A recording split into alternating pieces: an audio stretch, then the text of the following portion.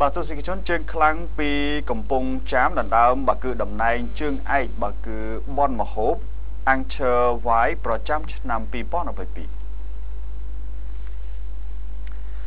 បនមហូបស្រាបៀរ Anchor Y បានបញ្ចប់ទៅដោយភាពជោគជ័យជាមួយនឹងភាពសប្បាយរីករាយនិងអនុស្សាវរីយ៍ល្អល្អមិនអាចបំភ្លេចបានជាមួយនឹងការរកឃើញជើងឯកសប្បាយញ៉ាំសប្បាយលេងបន្ទាប់ពីវគ្គជំរុះនិងវគ្គប្រកួតឆ្លង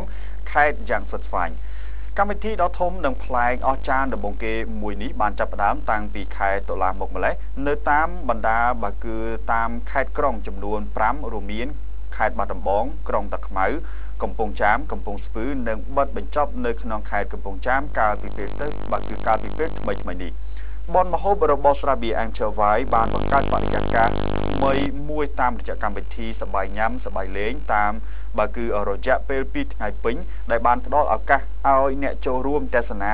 អាចចូលរួមប្រកួតប្រជែងដើម្បីឈ្នះរង្វាន់ធំ ខ្សែកមាស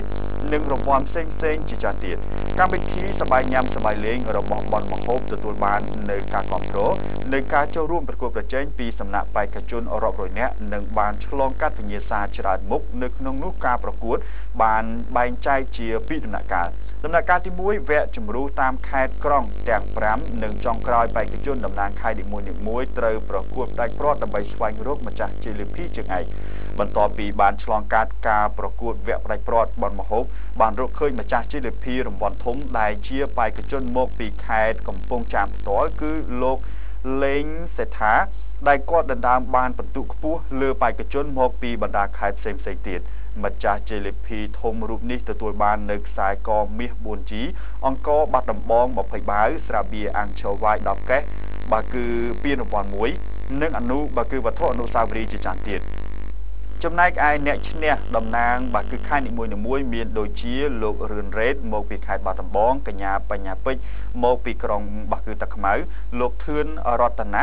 មកពីខេត្តកំពង់ឆ្នាំងលោកអៀនចន្ទធីមកពីខេត្តកំពង់ស្ពឺក្នុងម្នាក់ម្នាក់ទទួលបាននៅអង្គរបាត់ដំបងចំនួន10បាវស្រាបៀរអាំងឈើ5កេសនិងវត្ថុអនុស្សាវរីយ៍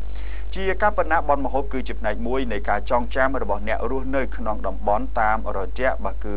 នឹងនៅតាមបណ្ដាខេត្តនីមួយៗជាព្រឹត្តិការណ៍ដ៏ធំដំបូងគេបនមហូបបានដាក់តាំងបង្ហាញនៅមុខមហូបប្លែកៗពីគ្រប់តំបន់ទូទាំងប្រទេសជាកម្មវិធីប៉ុន្តែបនមហូបបានប្រពធ្វើឡើងយ៉ាងល្អប្លែកនិងគួរឲ្យទាក់ទាញបំផុតដែលមានទាំងភាពសប្បាយរីករាយការញ៉ាំអាហារការកំសាន្តនិងការឈ្នះរង្វាន់ធំជាច្រើនអ្វីដែលมันអាចប្រកែកបានគឺបនមហូបបានទៅដល់កន្លែងណា តែងតែមានមនុស្សជាច្រើនកកកមកចូលរួមទស្សនា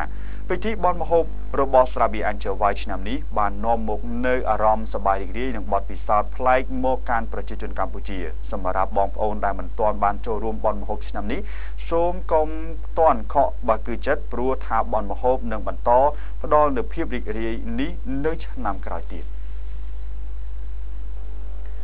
បាទលោកស្រីប្រិយមិត្តទស្សនិកជនជាទីគោរពនិងជាទីមេត្រីគណៈពេលនេះពីកម្មវិធី